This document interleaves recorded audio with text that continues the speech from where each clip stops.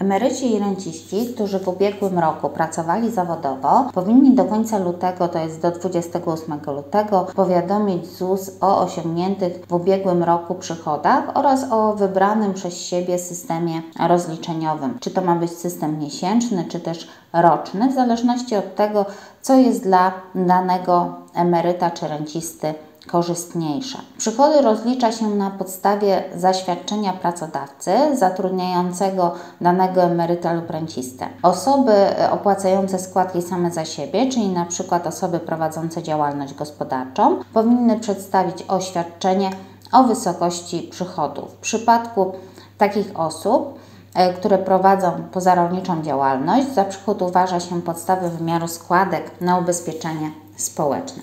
Zaświadczenie czy też oświadczenie należy dostarczyć do oddziału ZUS, który wypłaca naszą emeryturę lub rentę. W przypadku nieprzekazania do ZUS-u informacji, ZUS może zawiesić wypłatę naszego świadczenia, a nawet zażądać zwrotu niesłusznie pobranych, gdyż osiągany przez emeryta czy też rencistę przychód może wpływać na zmniejszenie lub zawieszenie świadczenia. Zmniejszeniu podlega emerytura czy też renta, gdy uzyskany przychód jest większy niż 70% przeciętnego miesięcznego wynagrodzenia w kraju. Natomiast do zawieszenia świadczenia dochodzi wówczas, gdy przychód przekroczy górną kwotę graniczną, to znaczy 130% przeciętnego wynagrodzenia. Są też tacy świadczeniobiorcy, którzy mogą dorabiać bez ograniczeń i nie informować ZUS-u o zarobkach. W takiej sytuacji są emeryci, którzy ukończyli powszechny wiek emerytalny,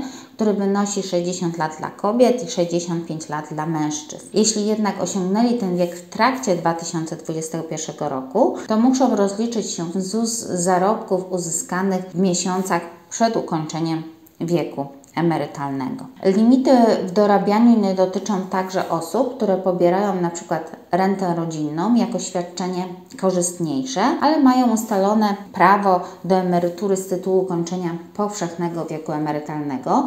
Wówczas renta przysługuje w pełnej wysokości, niezależnie od tego, jak wysokie są zarobki. Wysokością przychodów nie muszą się przejmować także osoby, które otrzymują emeryturę częściową, rentę inwalidy wojennego, inwalidy wojskowego, których niezdolność do pracy związana jest ze służbą wojskową lub rentę rodzinną po takim inwalidzie. Informacji o zarobkach nie muszą także składać uczniowie szkół ponadpodstawowych i studenci, którzy nie ukończyli 26 roku życia, a są zatrudnieni na umowę zlecenia lub umowie agencyjnej, za wyjątkiem uczniów pobierających renty socjalne.